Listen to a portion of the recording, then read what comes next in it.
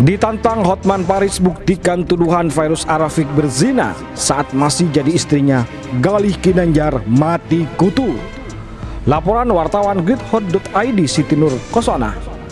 Baru-baru ini virus Arafik mengungkap fakta mengejutkan soal mantan suaminya Galih Ginanjar. Fakta itu diakui virus Arafik sangat menyakiti hatinya sebagai seorang wanita dan ibu. Pasalnya, Gali Ginanjar menyebut kalau ia tak yakin jika King Faas adalah anak kandungnya.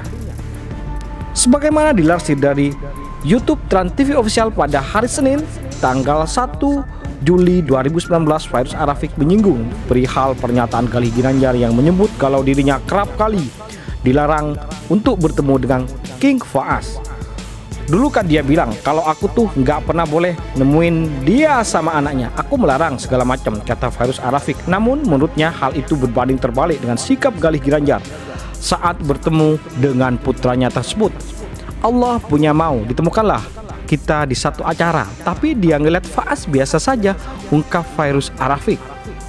Ia mengatakan kalau mantan suaminya itu seperti tak antusias saat melihat anak kandungnya nggak disamperin, nggak apa segala macem. Kalau emang seorang bapak yang ngerasa dia nggak bisa ditemuin sama anaknya pasti udah dipeluk dong, udah disamperin, kata Virus Arafik. Menurutnya Gali Ginanjar malah cuek dan seolah tidak memperdulikan keberadaan anaknya itu. Ini nggak ditemui, santai aja dan padahal dia duduknya itu kita di depan dan dia ada di samping belakang kita duduknya. Jelas Virus Arafik. Ya sempat papasan pun dia dicuekin aja gitu. Jadi sebenarnya intinya adalah kalau dia memang merasa punya masalah atau apa pun Medianya bukan di infotainment. Masih ada aku. Saat itu aku selalu bilang nomor telepon gue nggak ganti. Kenapa dia nggak ngehubungin aku? Jelas virus Arafik. Hal itu juga dibenarkan oleh Ruben Onsu. Bahkan virus Arafik tak pernah ganti nomor telepon. Iya iya. Di handphone gue juga nomor lo nggak pernah ganti kata Ruben Onsu Iya, kenapa nggak ngehubungin aku? Kenapa harus curhatnya di infotainment? Berarti kan ada sesuatu yang memang dia cari, kata Virus Arafik. Virus Arafik juga mengatakan kalau ia tidak pernah sama sekali melarang Kikwas untuk bertemu dengan ayah kandungnya. Sama sekali nggak melarang. Kan kalau melarang itu awas ya, jangan temuin. Pulang lu sana, keluar. Pernah datang terus aku dorong-dorong? Kan ini enggak jelasnya. Bahkan yang membuatnya sakit hati yakni saat Ginanjar menyebut kalau ia tak yakin King Faas adalah anak kandungnya. Pernah muncul banyak statement sih. Salah satunya di berita aku kaget karena aku lihat beritanya itu dia bilang kalau dia nggak yakin Faas itu anaknya kata Farus Arafik. Itu aku lebih sakit lagi dan aku mikir ya udahlah biarin tambahnya. Yang lebih bagus deh timpal Ruben Onsu. Hanya itu, Galih Ginanjar secara tidak langsung juga menyebutnya telah berselingkuh. Ya, mau gimana kalau dia udah nggak yakin Faas anaknya berarti sama juga dia bilang aku berzina dengan orang katanya.